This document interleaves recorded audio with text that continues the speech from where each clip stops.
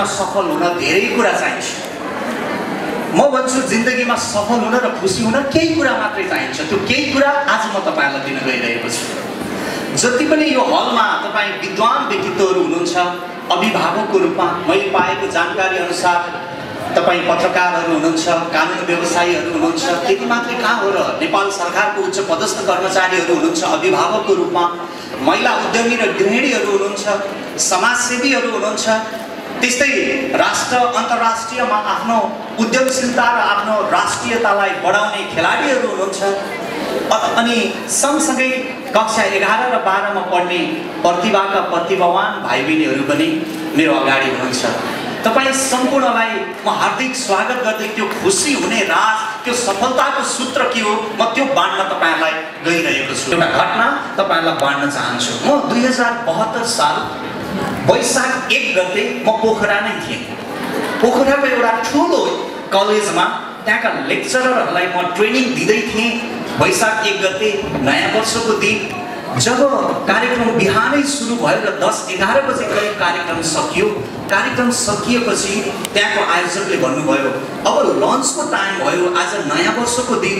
यो लन्च खानुभन्दा अगाडि यहाँ नजिकै एउटा मन्दिर छ बरु हामी मन्दिरसम्म जाउँ न यसो दर्शन गरौँ अनि आएपछि खाना खाउँला मलाई पनि साह्रै चित्त बुझ्यो। फेरि हप्ताको तिनचोटि व्रत लिने मान्छे म आफै किनभने त्यो दिन फेरि मङ्गलबारको दिन पनि थियो। जब हामी मन्दिरतिर जाँदै थियौँ बाटोमा गाई वस्तुहरू खुल्ला छोडेका रहेछन्। भर्खर वैशाखको बेलामा भर्खरै उम्रिँदै गरेको त्यो कलिलो घाँसहरू चर्दै गरेका गाई वस्तुले बाटोभरि गोबरै गोबर फालेका थिए। मसँगै जाने व्यक्तिले भन्नुभयो ओहो पोखरा जस्तो सुन्दर ठाउँमा हेर यी गाई वस्तु पाल्ने मान्छेले अलि व्यवस्थित त गरिदिनुपर्छ हेर बाटैभरि गोबर मान्छेहरू कति आएका छन् पोखरा टुरिस्टहरू आएका छन् के भन्छन् होला यो पोखरा पनि पुरै प्रदूषित भयो अब हामी रुमालले नाक छोप्दै मन्दिरमा पुग्यौँ। जब मन्दिरमा मभन्दा अगाडि उहाँ जानुभयो र दर्शन गरेर फर्किनु भयो अनि मलाई भन्नुभयो रविन सर तपाईँ पनि जानुहोस्।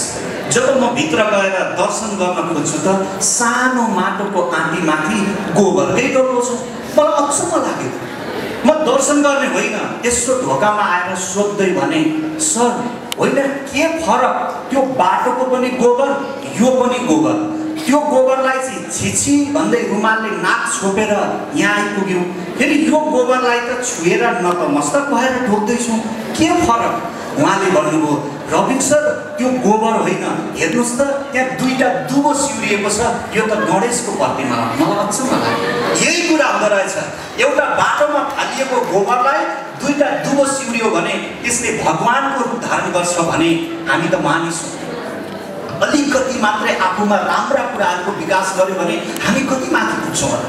त्यो राम्रो कुरा के हो? त्यो दुईवटा दुबो म आजको प्रशिक्षणमा तपाईँलाई दिन गइरहेको छु। फेरि भन्नुहोला सर मान्छेले युनिभर्सिटी पढ्छ दुई दुईवटा विषयमा डिग्री गर्छ कतिले त डबल डिग्री पनि गर्छन् र डबल पिएचडी पनि गर्छन्। र त मान्छेको जीवन कुन बाटोतिर अगाडि बढ्छ पत्तै हुँदैन।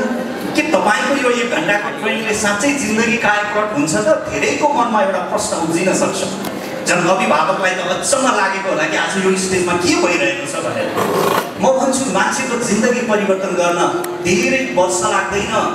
मान्छेको जिन्दगी परिवर्तन हुन धेरै वर्ष र महिना पनि लाग्दैन धेरै हप्ता र दिन पनि लाग्दैन र धेरै घन्टा पनि लाग्दैन।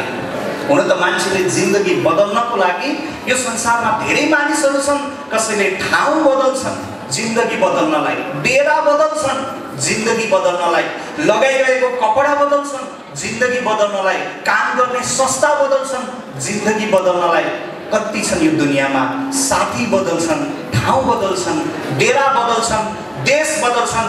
कतिले त श्रीमान पनि बदल्छन् कतिले श्रीमती पनि बदल्छन्। तर जबसम्म मानिसको सोच बदलिँदैन तबसम्म मानिसको जिन्दगी बदलिँदैन। त्यसैले जिन्दगी बदल्न पहिले सोच बदल्नुपर्छ। यो कार्यक्रम चाहिँ सोच बदल्ने कार्यक्रम हो। एकछिन अगाडि सृष्टि बहिनीको त्यो अद्भुत कला तपाईँहरूले हेर्दै गर्दा पक्कै तपाईँको मनमा केही न केही भावना उत्पन्न भयो र केही नयाँ र नवीनतम सोचको पक्कै विकास भयो होला। यो कार्यक्रम यतिमा सकिनेवाला छैन। म आज तपाईँहरूलाई घर फर्किँदै गर्दा तपाईँको जिन्दगीमा कसरी तपाईँले आफूलाई व्यवस्थित गर्ने पारिवारिक सद्भाव कसरी बढाउने अभिभावकले छोराछोरीसँगको आफ्नो आत्मीयता कसरी बढाउने र हामी छोराछोरीले पनि आमा बुवासँगको सम्बन्धलाई कसरी मजबुत बनाउने र एउटा दृढ सङ्कल्प लिएर भोलिको एउटा सफल भोलि साराले स्यालुट र साराले नमस्कार गर्ने व्यक्ति कसरी बन्ने त्यो खुराक पनि दिन आएको छु। त्यसैले यो खुराक लिएर फर्किनु हुनेछ तपाईँ ढिला नगरिकन भन्न चाहन्छु हुन त धेरै जस्तो मानिसहरू सफलता कसरी पाउने सफल कसरी बन्ने होला भनेर यो संसारका धेरै मानिसहरू प्राय सोचेर बस्छ सफलता कसलाई चाहिएको छैन र विद्यार्थीलाई इक्जाममा राम्रो नम्बर ल्याउनु छ विद्यार्थीलाई सफलता चाहिएको छ जागिरेलाई सफलता चाहिएको छ प्रमोसन हुनु परेको छ व्यापारीलाई सफलता चाहिएको छ बिजनेस सक्सेस गर्नु छ हर कोही मान्छेलाई सफलता चाहिएको छ। इभन घरमा बस्ने गृहिणीलाई पनि त असल आमा बन्ने चाहना होला कसैको असल बुहारी बन्ने चाहना होला। अर्थात् यो संसारका हर कोही मान्छेले सफलता चाहेर चाहेका हुन्छन्। सफल कसरी हुने खोजिरहेका हुन्छन् सोचिरहेका हुन्छन्। तर ती मानिस मात्रै सफल छन् जसले जिन्दगीमा केही काम गर्छ। सोचेर बस्ने मानिस सफल छैन जो एक्सनमा जान्छ काम गर्छ। त्यही भाइ बहिनीहरू तपाईँ सफलताको यदि प्रतिज्ञा गर्न चाहनुहुन्छ भने सुरुको दिनमा मान्छे हाँस्छन्। सुरुको दिनमा हाँस्न दिनुहोस्। जब तपाईँले गरेको काम देखेर मान्छे हाँस्दैन नि बुझ्नुहोस् तपाईँको लक्ष्य खासै ठुलो छैन। लक्ष्य सुन्दा अरू हाँस्नुपर्छ। हुन्छ र? यस्तो हुन सक्छ र? भन्नुपर्छ। जब सुरुको समयमा मान्छे हाँस्छन् नि पहिले तपाईँको प्रतिज्ञा सुनेर हाँस्छन् त्यसपछि तपाईँले गरिरहेको काम देखेर हाँस्छन्। जब तपाईँ साँच्चै सफलता प्राप्त गर्नुहुन्छ नि हाम्रो अरुणा साई जस्तै गरी त्यो दिन फेरि मान्छे मुस्कुराउँदै तपाईँलाई बधाई दिन्छन् फेरि हाँस्छन् त्यसरी मान्छे सुरुको दुईचोटि हाँसेनन् भने तेस्रोचोटि हाँस्न पाउँदैन। त्यसैले हाँस्न दिनुहोस्। केही फरक पर्दैन। लक्ष्य लिएर जीवनमा अगाडि बोल्ने र राइट्सको जीवनमा त्यही भयो। सुरुमा पागल कहलिएका उनलाई आज दुनियाँले सबैभन्दा ग्रेट आविष्कार गर्ने वैज्ञानिक भनेर पूजा गर्न थाल्यो।